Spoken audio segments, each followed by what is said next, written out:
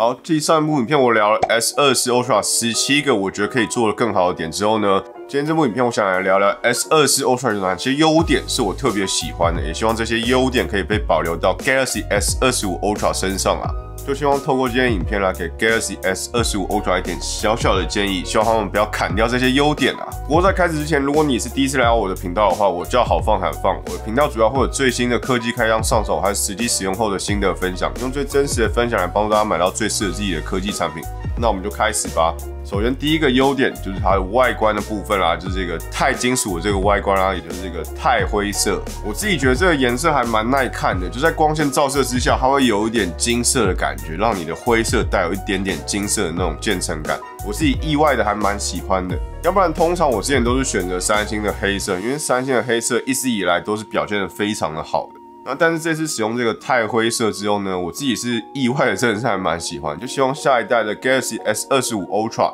也可以保留这个颜色。然后再第二个优点就是手感的部分啦。虽然 Galaxy S 二十 Ultra 整体的重量还是偏重，两百三十二克，但手机的重心表现很不错，然后你拿的时候呢，不会头重脚轻，也不会觉得手机拿一拿就好像快要喷飞掉那种感觉，握持的感觉真的蛮好的。所以在重心的表现上，我还蛮喜欢的。然后再来下一个优点，就是这次的荧幕超级抗反光啦。相较于 Galaxy S 二三 Ultra 来讲，整体的抗反光效果好上非常的多啊。使用起来时呢，会给你一个崭新的体验，就觉得这款手机的荧幕体验跟其他的手机是完全不一样。而且这个我觉得不是单纯靠拉高亮度就可以达到的观影体验，是真的很不错，是一个崭新的体验。那也希望下一代 S 二十五 Ultra 是全系列可以搭的这个抗反光的涂层啊。因为目前应该是只有 Ultra 有了，就希望下一代可以下放到全机型都有，这样大家都非常的舒服的荧幕体验啊。然后再来聊聊就是这个超声波指纹啦，我觉得真的是越用越顺手啊，解锁的成功几率我觉得高达九十 percent 吧，通常都是一碰到它就解锁了，非常的滑顺，非常的舒服啊。而它解锁位置也非常不错，就是拇指通常放到的位置就会直接触碰到，并不会有那种为了需要解锁要调整手机握持的位置的那种状况发生啊。而且因为它是超声波，不会有那种光学指纹半夜解锁时呢闪瞎眼那种状况。我觉得整体来讲，这是一个很成熟的三星技术啦。我觉得真的很不错，也希望这个超声波指纹可以继续沿用下去。然后再来聊聊就是 One UI 啦。我觉得 One UI 的优点就是各式各样小小的地方累积起来的，像是你的通知讯息，你可以左滑或右滑都可以滑掉。这一点在其他家手机有时候就是办不到，它只能单边滑掉。遇到时你就会很郁闷，想说哇，这东西这么小这么简单，为什么还要做这么不直觉？但是 One UI 用到现在呢，我觉得真的是越用越上手，越用越好用啊。虽然说很多小功能真的是藏在三星的复杂的系统设定内，真的是每一次都要找很久。但是只要你熟悉之后呢，你就会觉得它制定性真的超高的，而且很多功能是真的很不错，像是三星的单手模式啊、长截图或者是双开账号。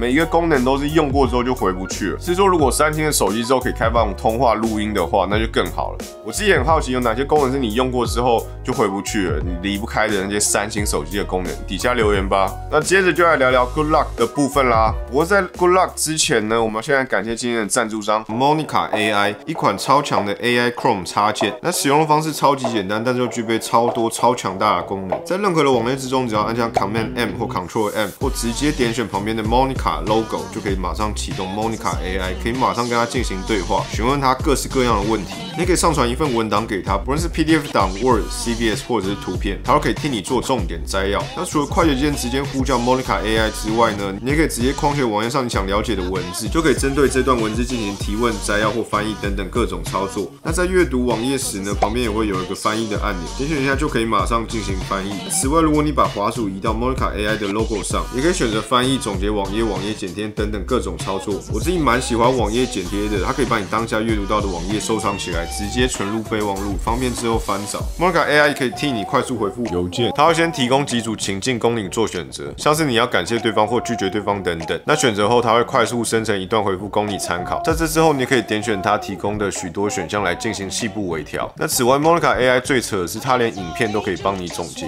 即使是没有字幕的 YouTube 影片，它也可以生成影片摘要。不过最扯的是它还会生成每个段落的亮点摘要给你，像是几点几分影片中提及到了哪一个重点，真的很神。最后，Monica AI 虽然主要是由 GPT-4 驱动的，但是你可以选择其他各大 AI 语言模型，例如 Google 的 Gemini Pro 或者是 Meta 的 Llama。甚至连 Cloud 三也有，就很多种选择。莫妮卡甚至跟我承诺，只要 AI 模型更新，莫妮卡就会以最快速度让用户体验到，所以真的很不错。那安装莫妮卡的方式也非常简单，就用 Chrome 线上应用程式商店后，搜寻莫妮卡，安装后登录，马上就可以开始使用啦。总之有兴趣的赶快去置顶留言看看。那我们就回到我们的影片之中啦。那接着就来聊聊 Good Luck 的部分啦。Good Luck 是由三星官方推出的一个应用程式，主要目的是让三星 Galaxy 手机的用户可以有更多克制化的选择。你可以讲到说，这个就是三星官方推出的外挂程式，这样就蛮有趣的。像你可以克制你的手势要如何操作啊，或者是克制你的键盘要如何排版。虽然说我在上一部 S 二四 Ultra 十七个我觉得可以改善的点之中有聊到，就是我希望 Good Luck 可以内建会更好。不过我觉得今天这部影片我也要给 Good Luck 一个支持，因为有非常多的功能是真的做的很好用。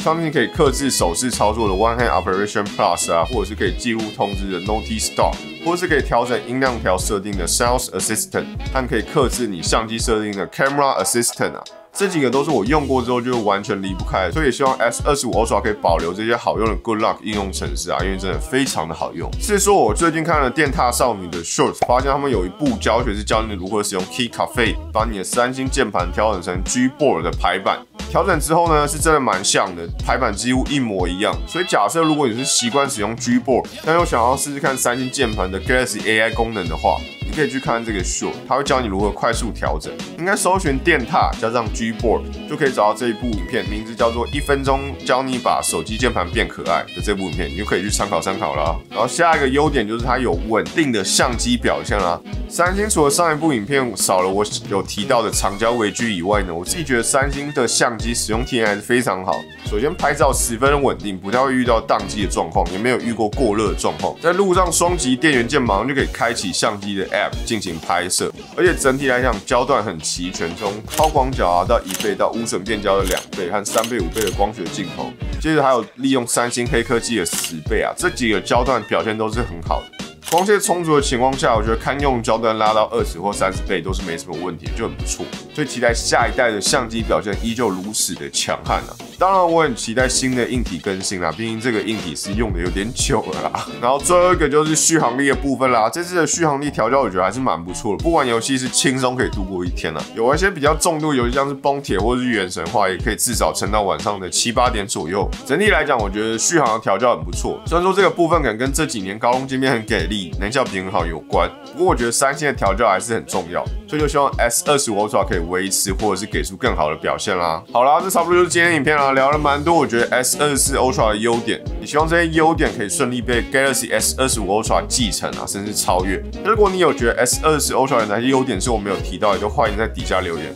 就让我们用今天影片和上一部影片，用这两部影片来打造我们内心的 S 二十五 Ultra 吧。那最后，如果你觉得今天影片有点意思或有点帮助的话，也欢迎订阅我的频道，并且把这部影片分享给你所有使用三星手机的朋友们。那我们就下一部影片再见啦，悄悄，拜拜。